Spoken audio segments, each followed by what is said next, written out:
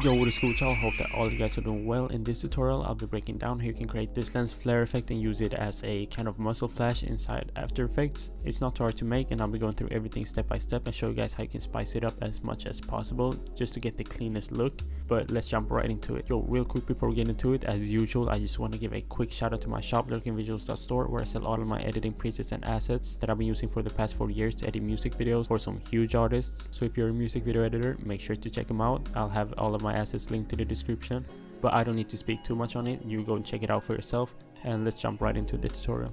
So right here I got this clip from this BabyChiefDoit music video. So right here when he puts his finger up like that I'll have a lens flare come in and can use it as a muzzle flash and then spice it up with some shakes some glows and all that good stuff. Right click go to new and create a new adjustment layer. I'll add a universe Knoll light factory and this is basically a lens flare and I'll put it right there to his hand. And these ones have a lot of different presets you can use. So you can just basically mess around with these and try to get something that looks as much as a muzzle flash as possible. Since it will only be showing for like one frame I think that these lens flares can look really good and make it look a lot less boring compared to a muzzle flash. So what I'll do is mess around with these try to get something that I like and I'll set the color to like this orangish and then I'll mess around with these presets. And I think that the, and I think that this desert digital one is crazy so I'll be using that one. And I'll make it this yellow orangish color. Just mess with the scale and the brightness a little bit. Then I'll actually cut my adjustment layer right here make it one frame long. Then I'll duplicate this and drag it over one frame and then just mess with the location and put it to his finger right there. And I'll be using that lens flare for two frames then I'll duplicate it once again and go two frames in. Move the location once again then I'll change my preset and I think I will go for this one right here. And turn up the brightness a little bit and I'll put it right there. So now if I play through this is what I got it looks crazy. It lights up a lot and I like the look of that. So I'll duplicate this one once again and put it up here to his finger. So I'll keep going with this and just do the exact same thing mess around with these presets find something that I like. And now after messing with the lens flares a little bit this is what I got.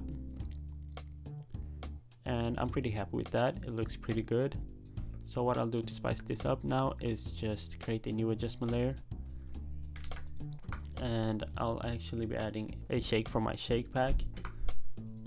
Drag on my essential shake pack. I'll have a link to the description for you guys.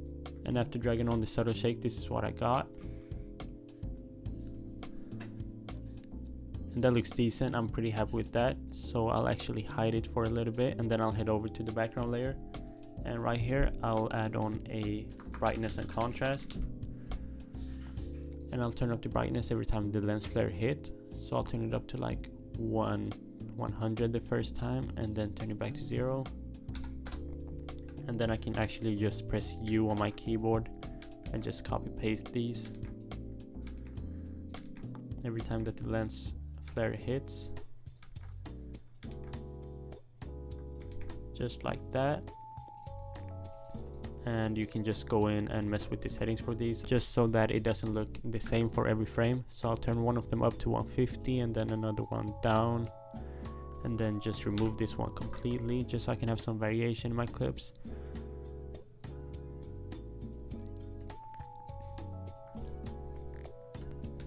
And now if I play through this is what I got. That's decent and now with the shake it will look a lot better and now I'll head over to YouTube and find a smoke overlay that I can use in the background when that lens flare is hitting. And now after dragging it on I will hide my shake layer once again so I can see my scene as clearly as possible. Now I'll just match the smoke as good as I can. So I'll put it right there to his hand. Oh it's way too big right now so just mess with this and try to get it as good as possible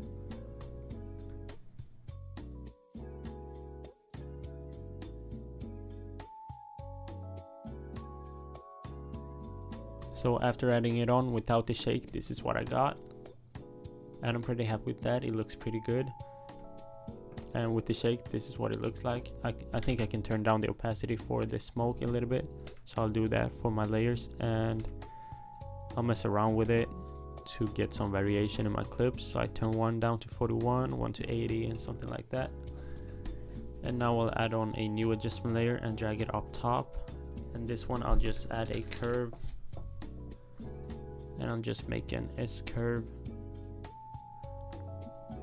like this. And I'll make a hit right here with the shake. But I'm pretty happy with how my scene look. So if you enjoyed this tutorial make sure to leave a like and subscribe. And as always check out my packs on the store so you can support me as a creator and also get some sick packs that you can use in your future music videos. But thank you guys so much for watching. Hope you enjoyed this tutorial and come back tomorrow for a new one and i'll see you guys in the next one